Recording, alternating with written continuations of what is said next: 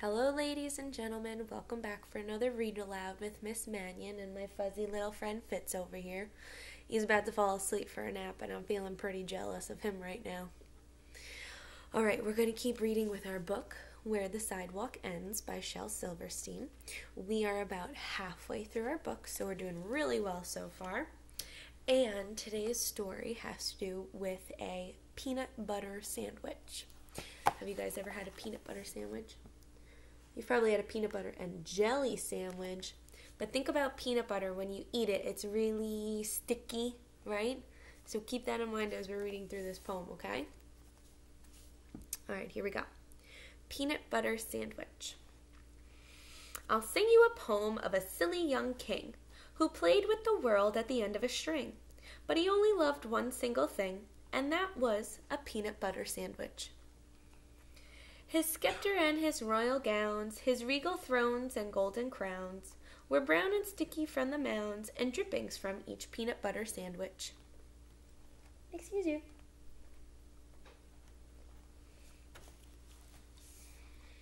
His subjects all were silly fools, for he had passed a royal rule that all they could learn in school was how to make a peanut butter sandwich. He would not eat his own steak, he scorned his soup and kingly cake, and told his courtly cook to bake an extra sticky peanut butter sandwich. And then one day he took a bite and started chewing with delight, but found his mouth was stuck quite tight from that last bite of peanut butter sandwich. Uh-oh. The dentist came and the royal doc, the royal plumber banged and knocked, but still those jaws stayed tightly locked. Oh man, that sticky peanut butter sandwich. The carpenter, he tried with pliers. The telephone man tried with wires. The firemen, they tried with fire. But they couldn't melt that peanut butter sandwich. With ropes and pulleys, drills and coils, with steam and oils, for twenty years of tears and toils, they fought that awful peanut butter sandwich. Then all his royal subjects came. They hooked his jaws with lots of chains, and pulled both ways with might and main against that stubborn peanut butter sandwich. Each man and woman, girl and boy, put down their plows and pots and toys, and pulled until, crack! Oh joy! They broke right through that peanut butter sandwich. A puff of dust, a screech, a squeak, the king's jaw opened with a creak. And then his voice was faint and weak. The first words that they heard him speak were, How about a peanut butter sandwich? All right, here's our next one. Lazy Jane. That's how we all look this week. Laying down like that, especially on a rainy day like today. Lazy Jane. Lazy, lazy, lazy, lazy, lazy, lazy Jane. She wants a drink of water, so she waits and waits and waits and waits and waits for it to rain. That's an interesting strategy. this picture looks familiar. Where do you recognize this picture from? The front of the book. The edge of the world.